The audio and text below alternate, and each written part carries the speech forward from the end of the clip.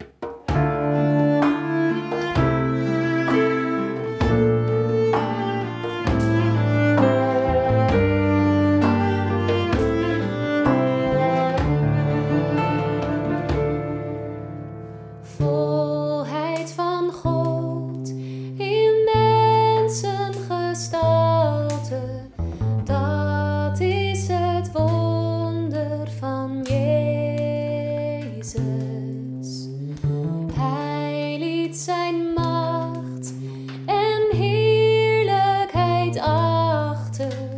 kwam als een dienaar naar ons toe.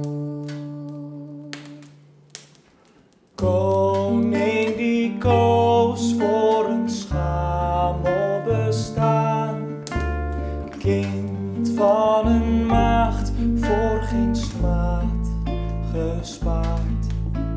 Nergens was plaats, een stal moest voldoende zijn.